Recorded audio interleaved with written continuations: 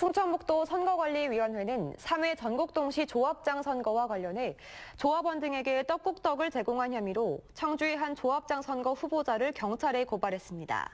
선관위에 따르면 현직 조합장인 해당 후보자는 지난 1월부터 수차례에 걸쳐 조합원과 가족 등 65명에게 모두 150만 원 상당의 떡국떡을 명절 선물로 제공했다고 밝혔습니다. 38 전국동시 조합장 선거와 관련해 충북에서는 경찰 고발 2건과 수사 의뢰 2건, 경고 등 행정처분 11건 등 모두 15건의 위반 사례가 적발됐습니다.